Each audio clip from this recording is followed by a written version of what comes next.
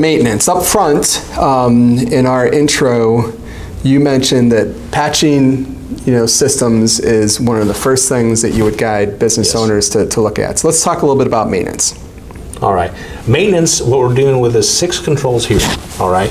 It deals with the system, making sure we're maintaining the right, the vulnerabilities have been identified, and that we're patching those systems. Okay. These controls also talk about not just IT stuff. It's when the HVAC guy comes into your organization. Okay.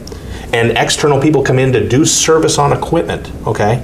How is that handled? Okay. Are they accessed? Okay, do they get escorted across your organization? Okay, what do they have access to?